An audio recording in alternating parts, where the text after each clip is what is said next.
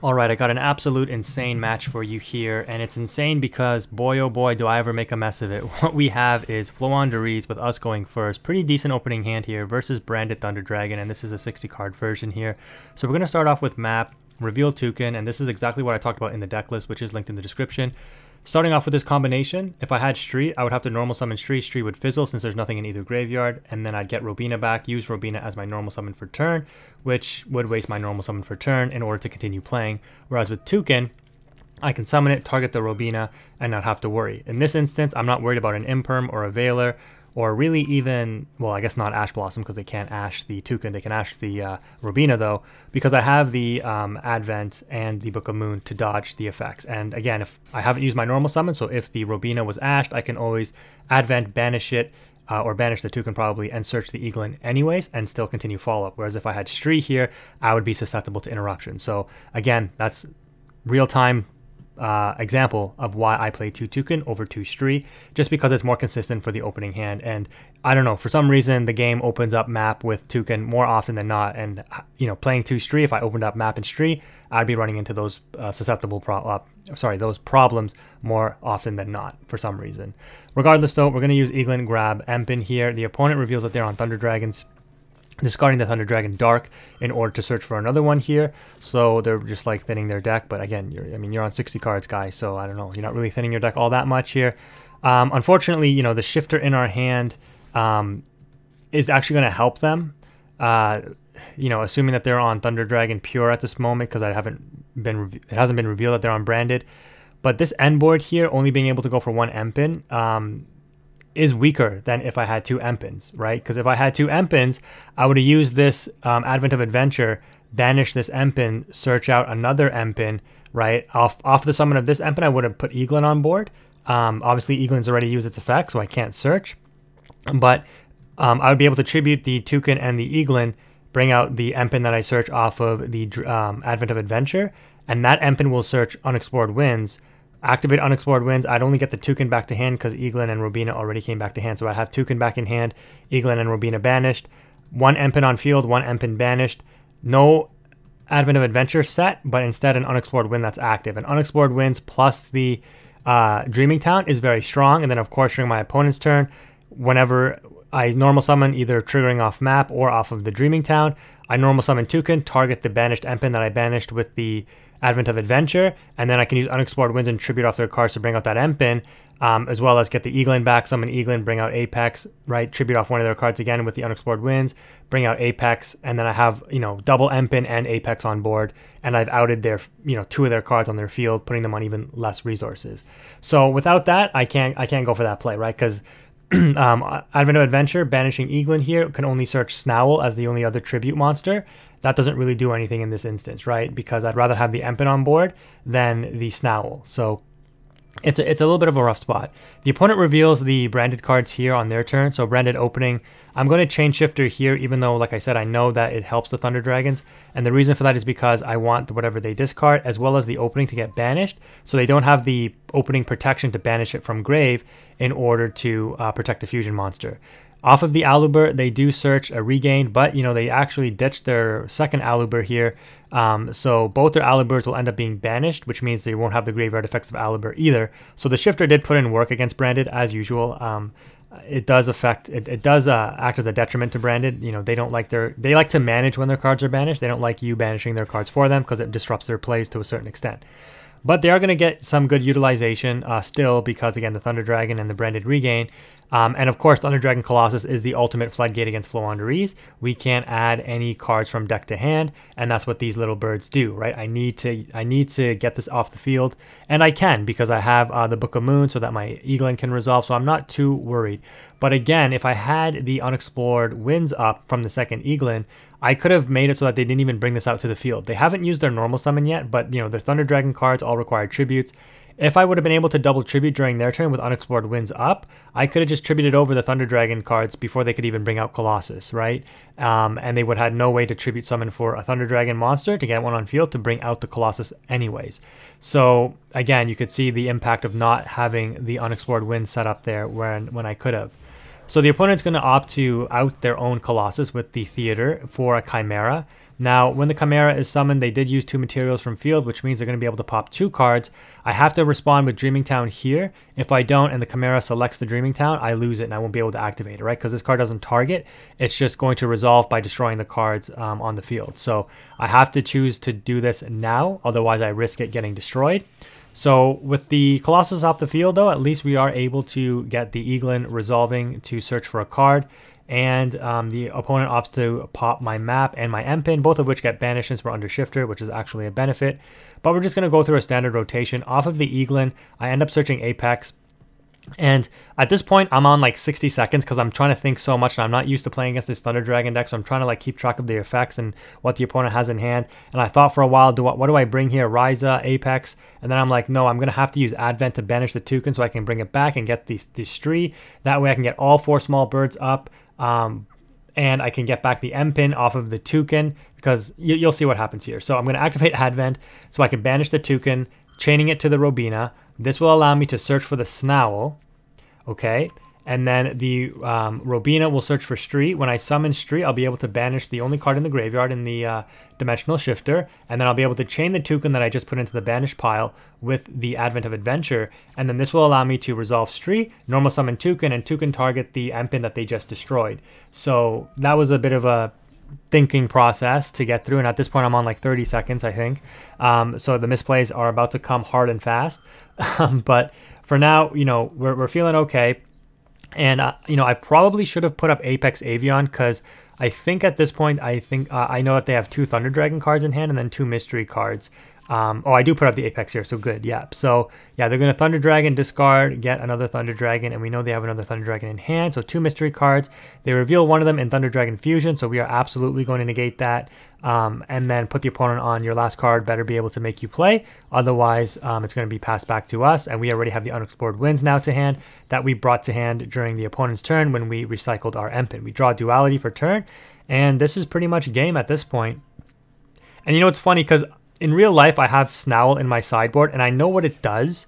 It's just like in this instance, I was just like so frazzled because I was just low on time. So like, you know, you get 60, 60 seconds back during my turn. I think I'm on like, yeah, like 60 or 50 seconds here. Um, for some reason you always like lose two and three seconds when it goes back and forth as well. I don't know. Like I hope Konami can fix that because if there's any sort of like lag on either side, like you just lose three seconds whenever it asks, asks the opponent if they want to interrupt. And with the Thunder Dragon deck, since they all have quick effects in the hand, like it's always asking them, do they want to interrupt? So I'm like constantly like losing time trying to think about like what my next play is, and it's it's just a very stressful situation. It's not an excuse. Um, you know, it is what it is. I need to learn to play faster, and I and I will once I get used to using the Snowl. But you know, some of these misplays definitely were because I was under the time crunch, just as I was in that one video I posted where I was uh, using Tearlaments against uh, Bystial Dragon Link, and I was literally on zero seconds mashing the escape button so that I wouldn't time out. Anyways, in this instance, I, I have game, right? I have game. I summon the Toucan. I grab back the Dreaming Town. Um, I, you know, again, not having the second Empen means that I can't search out my second trap in deck, and so I can't grab the one of map back with Toucan and then search the second trap in the deck with the Empen. I could ha I have to choose now. Do I want trap or do I want map back with the Toucan summon? So uh, I shouldn't need trap because this game shouldn't be going another turn. It should be over here. So I use the unexplored winds and I tribute the regain. And stupid me, I bring out the apex. Um, again, I was on like 27 seconds or something at this point. Do you see the misplay?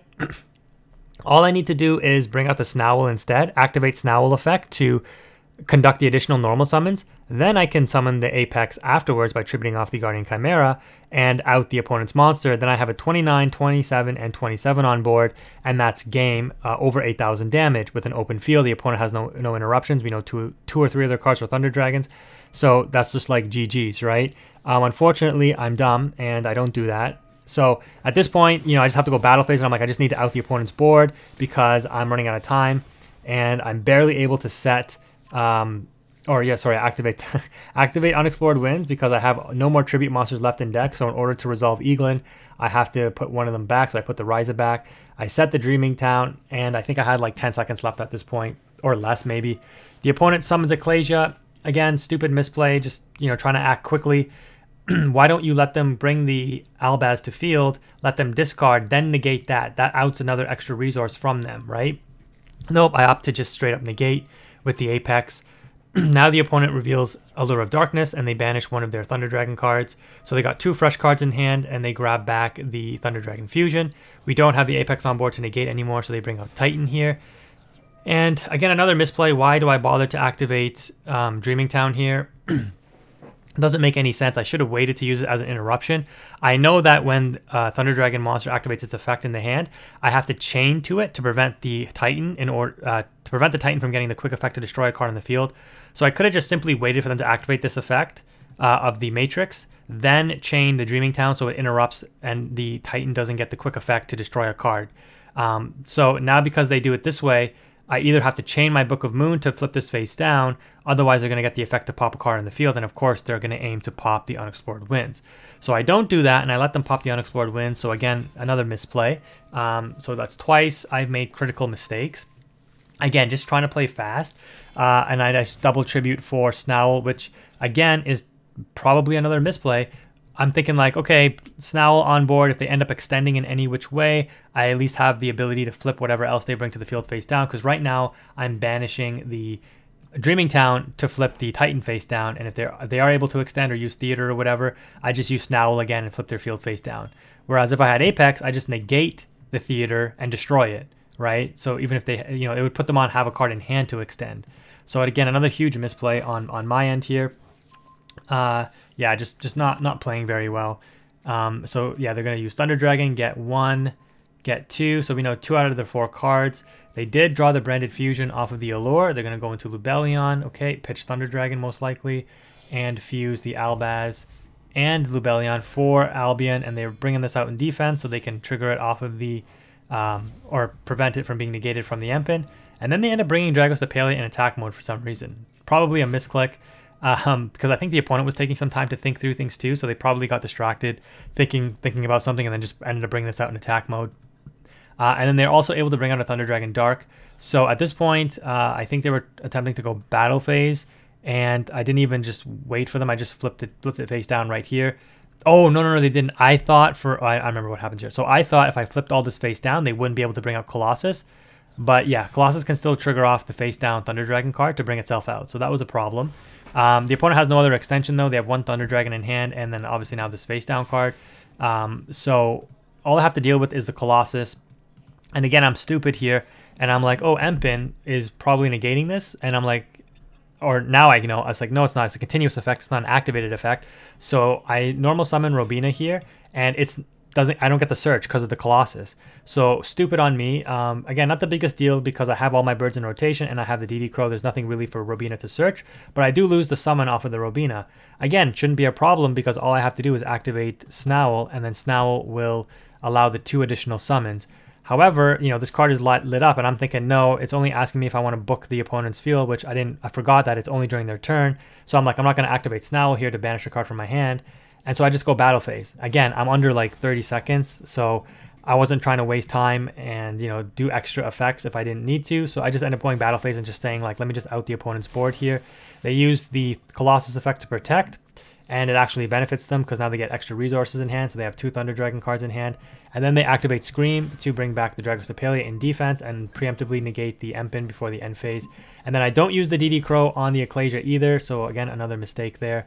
So the opponent is now going to draw, banish the Thunder Dragon Fusion, um, activate the Dragostapelia to bait out the Snowl, which is fine because they can flip all their cards face up, and then Snowl's already used its effect. So I just banished a card for nothing, um, and then they tribute over with the Kaiju. So this went from 0 to 100 real quick for the opponent. Uh, you know, I just kind of gave this game away. Uh, but we're going to end up Book of Mooning the Colossus or uh, the Titan so that um, the, they don't get the effect to destroy a card. Uh, but then they're just going to use Thunder Dragon Fusion anyways to uh, bring out another Titan. And at this point, the opponent probably thinks, okay, yep, Ecclesia, Albaz, discard, fuse with the Kaiju that they gave me, go into Brigand, and this is game for them, right? Uh, I activate Book of Moon to flip the Titan face down. Now my Snowl is the biggest monster on board, so all they can do is beat over Robina, and the rest of them, and, and, and I don't die, basically. Uh, it was a misplay though because the opponent knew I brought this book, of, one of these two cards as Book of Moon to my hand with the duality, and I used the unknown card Book of Moon first to flip down the first Titan.